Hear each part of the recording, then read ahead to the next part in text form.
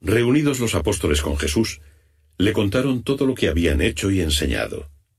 Y les dice, Venid vosotros solos a un lugar apartado y descansad un poco. Pues eran muchos los que iban y venían, y no les quedaba tiempo ni para comer. Se fueron pues en la barca a un lugar apartado ellos solos. Al verlos marchar, muchos los reconocieron, y de todas las ciudades corrieron allá a pie y se les adelantaron. Al desembarcar vio una gran muchedumbre y se llenó de compasión, porque estaban como ovejas sin pastor, y comenzó a enseñarles muchas cosas.